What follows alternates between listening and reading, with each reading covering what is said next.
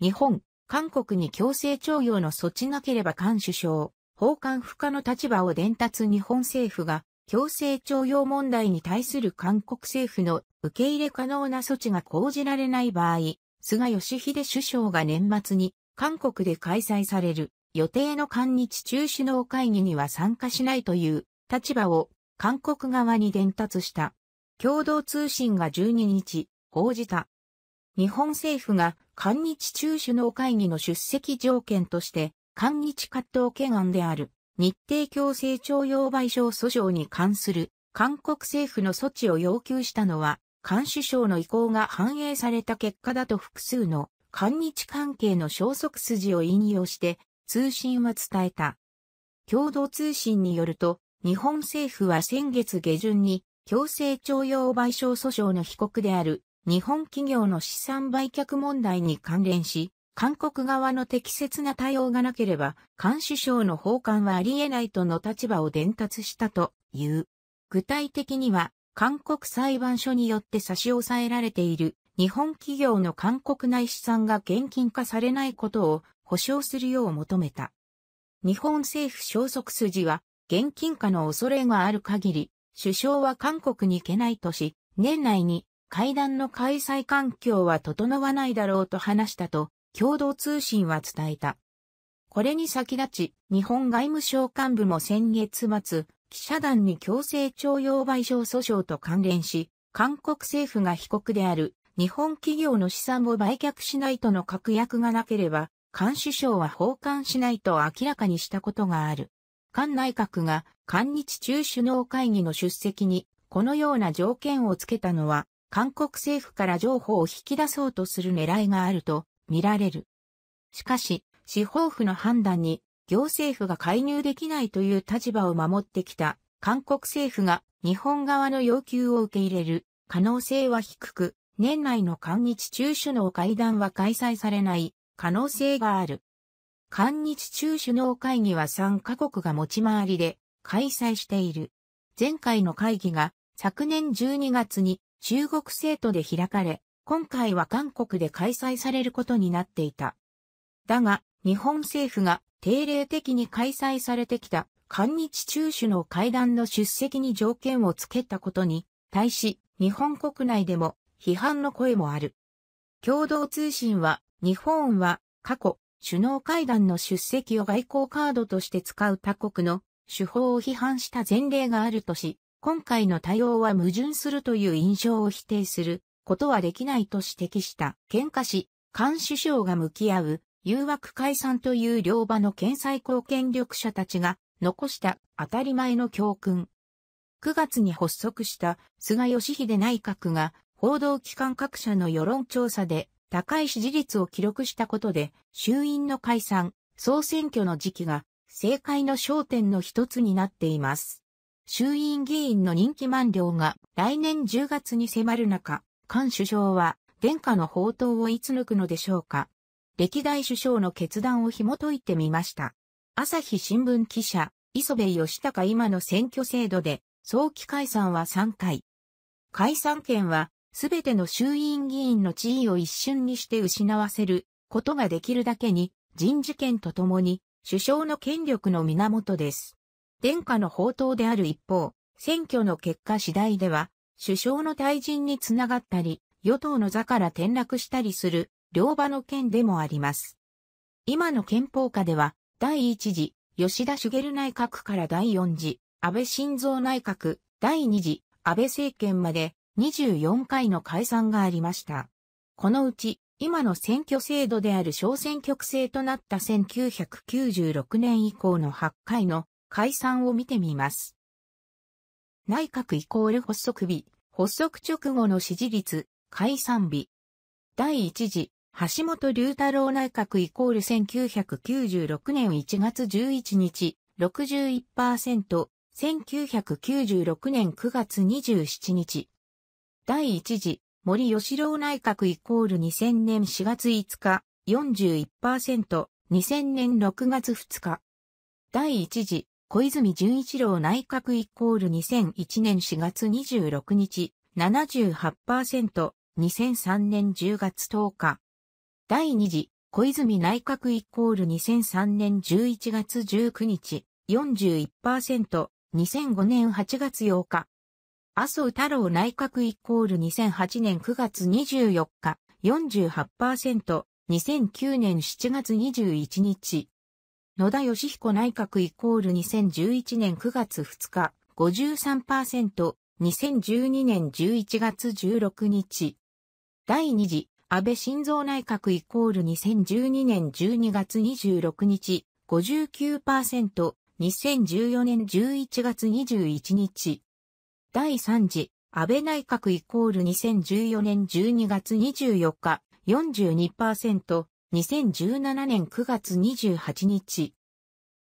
内閣発足から1年以内に解散したのは、橋本龍太郎、森喜朗、麻生太郎の3氏でした。その決断の結果は、三者三様です。小渕慶三首相、当時の休止に伴って緊急登板した森氏は2000年4月の内閣発足から2ヶ月も経たないうちに解散を断行しました。この解散は森氏を後継に決めた自民党実力者5人の会合に加わった旧小渕派の野中博夢幹事長と青木幹夫官房長官が小渕さんへの同情票が見込めるうちにと考え、あらかじめ敷いていたレールでした。日本は天皇を中心とする神の国との森氏の発言への批判もあり、森内閣の支持率は発足直後の41%、不支持率26%から、衆院選公示直前に19%、同59%に急落。衆院選では38議席を失いました。その後も内閣支持率は低迷し、森内閣は短命に終わりました。福田康夫氏の突然の退陣を受けて発足したのが、麻生内閣です。オタクの聖地東京、秋葉原で人気だった麻生氏は、約1年後に迫った衆院議員の任期満了を見据えて、選挙の顔として首相に担がれました。しかし、麻生氏はリーマンショックへの対応を優先して、解散判断を先延ばしにした結果、解散は内閣発足から約10ヶ月後でした。麻生内閣の支持率は麻生氏の失言などの影響で発足直後の48%、不支持率36%から衆院選公示直前に19%、同65%に下落。衆院選では181議席減という大敗を喫し、民主党政権の誕生を許しました。森、麻生両氏と対照的だったのが橋本氏でした。実績掲げて解散した橋本内閣。橋本内閣は、社民党の村山富一氏の辞任を受けて1996年1月にスタートしました。村山政権と同様、自民、社民、旧社会、先駆けの三党連立による政権で、自民党にとっては1993年総選挙で、芸野して以来、2年半ぶりに手にした首相の座でした。発足直後の内閣支持率は61%、不支持率20%と高い数字を記録しました。橋本氏には前内閣から引き継いだ宿題がありました。住宅金融専門会社、重戦の不良債権処理と沖縄の米軍用地強制使用問題の二つです。内閣発足後の初めての通常国会は、重戦国会と呼ばれ、与野党が対立しましたが何とか切り抜けます。沖縄問題では、普天間飛行場の返還を引き出したり、橋本氏と大田正秀沖縄県知事、当時の対話によって県の協力を取り付けたりするなどして、解決の道筋をつけることにこぎつけました。内閣が発足してから約8ヶ月後、橋本氏は臨時国会の初日に解散。宿題をやり遂げたことを実績に掲げて総選挙に打って出ます。解散直前の内閣支持率は48%、不支持率30%。単独過半数には届かなかったものの、選挙前より28議席増やすことに成功しました。実は、梶山清六官房長官、当時は96年1月に官房長官に就任した直後、橋本氏に今すぐ解散をやりたいと進言していたそうです。実際は宿題の対応に当たったために解散に踏み切れず、梶山氏は解散直後の講演で、沖縄の方々の心を開くことができて、初めて橋本首相は解散についてのフリーハンドを持つことができたと明かしています。梶山氏の発言からは、高い内閣支持率の誘惑と解散判断の難しさが伺えます。国民のために働く菅首相の決断は、通り党略や首相の失言ばかりが目立ってしまい、掲げられるような内閣の実績がないと解散をしても衆院選で勝てない。橋本、森、麻生三氏の決断からは当たり前とも言える、こんな教訓が得られそうです。菅首相の自民党総裁としての任期は来年9月、さらに今の衆院議員の任期は同年10月までです。このため、菅首相が来週までに解散を決断するのかが政界の注目の一つになっています。菅内閣発足直後に行った朝日新聞の全国電話世論調査9月16日から17日調査では、菅内閣の支持率は65%、不支持率13%でした。調査方法が異なるので、単純な比較はできませんが、橋本内閣以降のスタート時の支持率としては、小泉純一郎内閣の78%、同8%、鳩山幸夫内閣の71%、同14%に次いで3番目に高い水準です。こうした高支持率とともに自民党内でにわかに高まったのが早期解散論です。自民党の下村博文政調会長は9月21日の BS 番組で高い内閣支持率を上げ、自民党の若手はほぼ全員が早く選挙をやってもらいたいと指摘。解散は年内にあってもおかしくないとも述べました。